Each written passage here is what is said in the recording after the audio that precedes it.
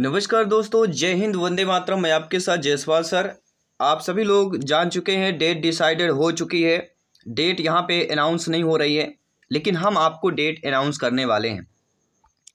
प्राथमिक प्राथमिक शिक्षक पात्रता परीक्षा में जो आवेदकों की काउंसलिंग के निर्देश यहाँ पे प्रक्रिया चालू हो चुकी है, और आज हम आपको डेट भी बताएँगे। मध्य प्रदेश स्कूल शिक्षा, सेवा, शैक्षणिक संवर्ग सेवा शर्तें एवं भर्ती नियम जो 2018 है, इस नियम के समय समय पर जो संशोधन किए गए हैं, आगे की जो भर्ती नियम है 2018 उल्लेखित किया गया था कि प्रावधानों तथा समय समय पर जारी निर्देशों के अंतर्गत पीबी जो है, यानी professional examination board Madhya Pradesh Bhopal के द्वारा आयोजित जो प्राथमिक शिक्षक पात्रता परीक्षा 2020 है एम वर्ग तीन एग्ज़ाम 2020 2020 में निर्धारित जो प्रतिशत के साथ उत्तीर्ण अभ्यर्थी से स्कूल शिक्षा विभाग में प्राथमिक शिक्षक के सीधी भर्ती के रिक्त पदों की सीधी भर्ती होगी। ये ध्यान दीजिएगा। काफ़ी सारे की ये परीक्षा यहाँ पे सीधी भर्ती रिक्त पदों की हेतु नियुक्त जो है, प्रक्रिया आरंभ कर दी गई है। यह प्रक्रिया मध्य प्रदेश शासन के पत्र पर दिया गया है और उनतीस नौ दो हज़ार बाईस के आधार पर की जाएगी। शैक्षणिक एवं व्यवसायिक यहाँ पे क्या रहेंगे? नियम आठ की अनुसूची के तीन के अनुसार जो है शैक्षणिक आधारित अर्हता रहेगी यहाँ पे। और प्राथमिक शिक्षक भर्ती में क्या अनिवार्य होगा? Professional examination board PB Madhya Pradesh, Bhopal के द्वारा आयोजित जो प्राथमिक शिक्षक की पात्रता परीक्षा 2021-22 निर्धारित प्रतिशत के साथ उत्तीर्ण की हों। कम से कम पचास प्रतिशत अंकों के साथ हायर सेकेंडरी अथवा इसके समकक्ष तथा प्रारंभिक शिक्षा में दो वर्ष का डिप्लोमा हो, या पचास प्रतिशत अंकों के साथ स्नातक तथा शिक्षा स्नातक बीएड जिसने राष्ट्रीय अध्यापक शिक्षा परिषद द्वारा मान्यता प्राप्त संस्था से शिक्षा स्नातक की उपाधि प्राप्त की है, उस पर एक से पाँच तक पढ़ने के लिए अध्यापक के रूप में नियुक्त हेतु विचार किया जाएगा। तो बीएड वालों को विचार किया जाएगा। कम से कम 45 प्रतिशत अंकों के साथ हायर सेकेंडरी अथवा इसके समकक्ष तथा राष्ट्रीय अध्यापक शिक्षा परिषद मानता, मानक और क्रियाविद नियम 2022 के अनुसार प्रारंभिक शिक्षा शास्त्र में दो वर्ष का डिप्लोमा।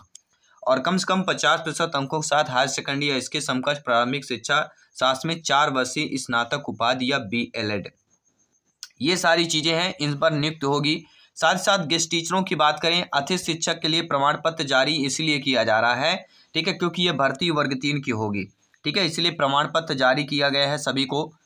आई होप आप सभी लोग जानते होंगे अपने अपने प्रमाण पत्र जारी कर लिए होंगे।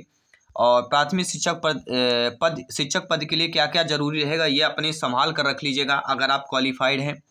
जन्म तिथि के प्रमाणिकत्व दसवीं की मार्कशीट, बारहवीं की अंकसूची स्नातक उपाधि की अंकसूची आरक्षण का लाभ प्राप्त करने वाले जो आपके अनुसूचित जनजाति है, पिछड़ा वर्ग है, आरक्षण के लिए ये आपको प्रमाण पत्र मिलेगा, वो भी डिजिटल प्रमाण पत्र लगेगा, ये सामने लीजिएगा, सभी प्रमाण पत्र डिजिटल लगेंगे।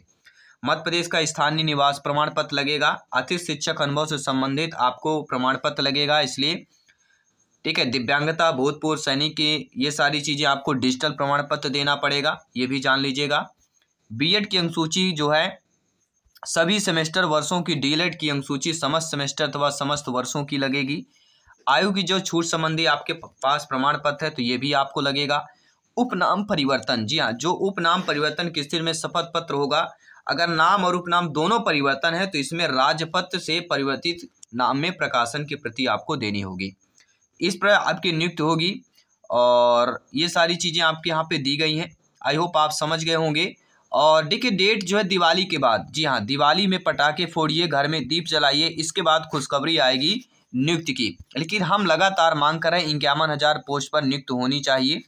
या कह सकते हैं कि अभी अठारह हज़ार जो पोस्ट नियुक्त करेंगे, ये पहली में करें 2023 में फिर से वैकेंसी निकालें और टोटल यहाँ पे इक्यावन हज़ार जो एग्ज़ाम हुआ एक, इक्कीस और बाईस में एम पी टेट वर्ग तीन का, उसी स्कोर के आधार पर जो है 2023 में फिर से वैकेंसी करें, फिर से इनकी नियुक्ति हो, जो रह जाएँगे। तो आप कैसे भी कर सकते हैं, दो पारियों में कर सकते हैं, लेकिन इक्यावन हज़ार पोस्ट ज़रूर कीजिए। अभी आप अठारह हज़ार कर रहे हैं, इसके बाद मुझे लगता है कि तैंतीस हज़ार की फिर वैकेंसी आपको करनी चाहिए। आई होप आप समझ गए होंगे। आइए जल्द जानकारी करेंगे कब से नियुक्त होगी, क्या डॉक्यूमेंट्स अपलोड होगा। सारी चीज़ें हमने आपको बता दी कि कौन कौन क्वालिफाइड होगा कौन कौन डॉक्यूमेंट्स अपलोड होगा कौन कौन की किस किस को नियुक्त मिलेगी। ठीक है? तो जल्दी जानकारी के साथ जुड़ते यहाँ पे देखिए डेट डिसाइड नहीं किया गया, लेकिन हम आपको डिसाइड डेट बता रहे हैं, दिवाली के बाद होगा। ठीक है? चलिए सभी मित्रों को जय हिंद, वंदे मातरम।